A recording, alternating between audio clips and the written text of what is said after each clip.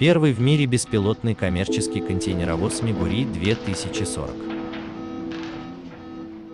В Японии успешно протестировали беспилотный контейнеровоз Мигури 2040.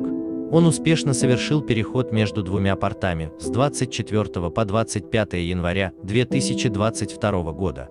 Он отправился в плавание ночью, при штормовой погоде выдерживая ветер и волны. Он проплыл по маршруту между портами Цуруга в префектуре Фукуи и Сакаимината в префектуре Татори, успешно зашел в автоматическом режиме, завершив экспериментальный маршрут длиной 270 километров. Беспилотный контейнеровоз успешно маневрировал в акватории порта, фиксируя расположение и направление движения других судов с помощью инфракрасных камер. Судно пришвартовалось у причала, забросив на него канаты с помощью дронов.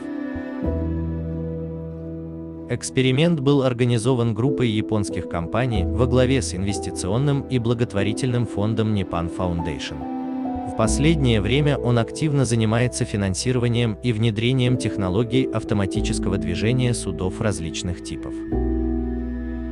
Фонд Nippon провел первый в мире демонстрационный эксперимент по беспилотной эксплуатации с использованием коммерческого контейнеровоза.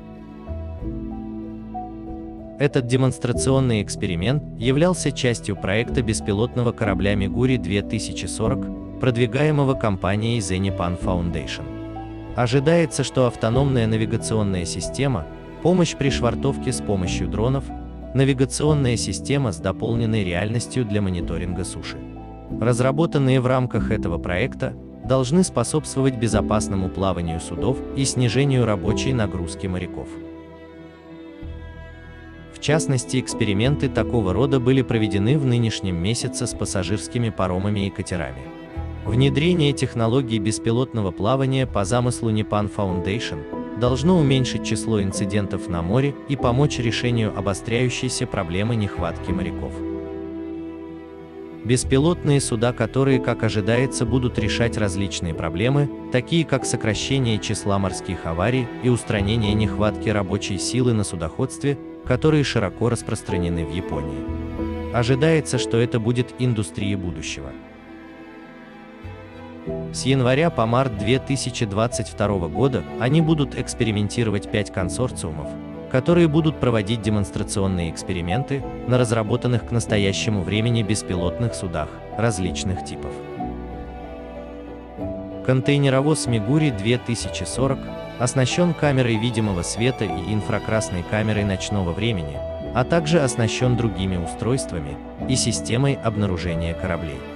Также разработали автономную систему маневрирования судов, которые позволяют избежать столкновения на основе обнаружения движений других кораблей.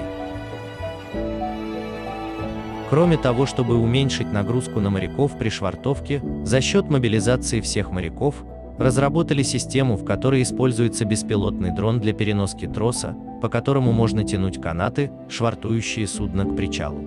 Для беспилотных судов необходим мониторинг на суше, а также использовали систему, использующую технологию AR, дополненной реальности, чтобы накладывать различную информацию на изображение с корабля и отображать ее на экране.